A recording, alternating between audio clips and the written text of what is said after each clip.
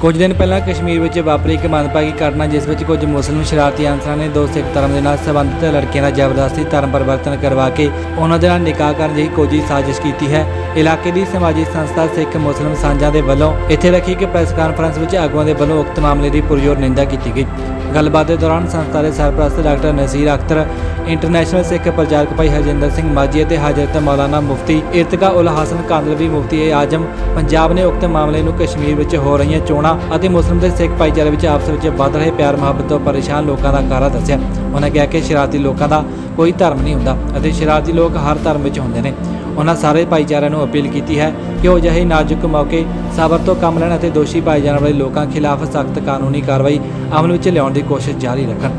ਸਾਰੀਆਂ ਤਾਰੀਫਾਂ ਉਸ ਰੱਬ ਨੇ, ਜਿਹੜਾ ਸਾਰੇ ਜਗ ਦਾ ਸਾਜਨਹਾਰ ਤੇ ਪਾਲਣਹਾਰ ਹੈ। ਪਿਛਲੇ ਦਿਨਾਂ, ਦੋ ਤਿੰਨ ਦਿਨ ਪਹਿਲਾਂ ਕਸ਼ਮੀਰ 'ਚ ਇੱਕ ਵੀਡੀਓ ਵਾਇਰਲ ਹੋਈ ਹੈ, ਜਿਹਦੇ ਵਿੱਚ ਦੱਸਿਆ ਗਿਆ ਕਿ ਇਨਸਾਨ ਦੇ ਭੇਸ 'ਚ ਦੋ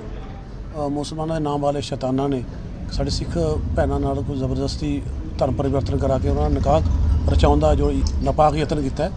ਉਹਦੇ ਬਾਰੇ ਰੱਖੀ ਗਈ ਸੀ ਕਿਉਂਕਿ ਇਸਲਾਮ ਇਹਨਾਂ ਚੀਜ਼ਾਂ ਦੀ ਇਜਾਜ਼ਤ ਨਹੀਂ ਦਿੰਦਾ, ਇਸਲਾਮੀ ਸਿੱਖਿਆਵਾਂ ਦੇ ਖਿਲਾਫ ਹੈ ਬਿਲਕੁਲ ਉਲਟਾ ਹੈ। ਅਸੀਂ ਉਹਦੀ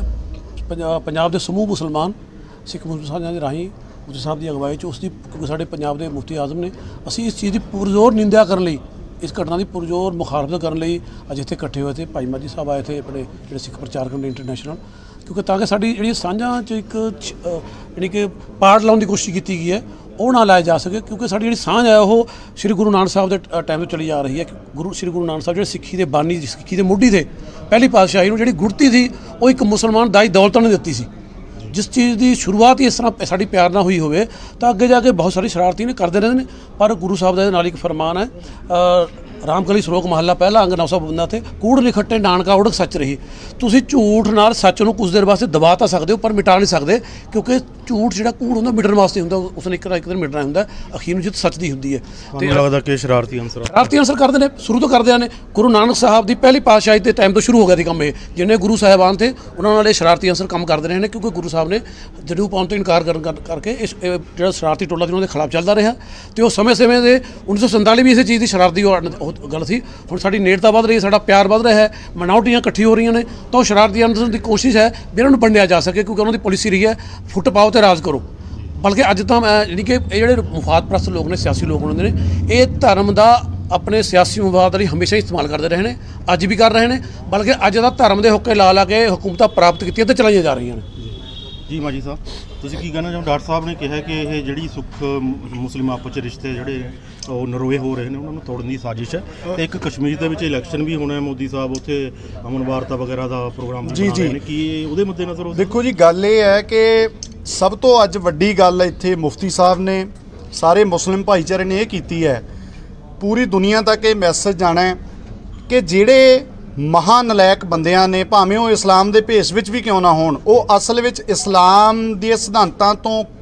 ਦੀਆਂ ਧੱਜੀਆਂ ਉਡਾ ਰਹੇ ਨੇ, ਕਿਉਂਕਿ ਇਸਲਾਮ ਦੇ ਵਿੱਚ ਇਹ ਹੈ ਕਿ ਜ਼ਬਰਦਸਤੀ ਕਿਸੇ ਨਾਲ ਦਾ ਧਰਮ ਤਬਦੀਲ ਨਹੀਂ ਕੀਤਾ ਜਾ ਸਕਦਾ ਔਰ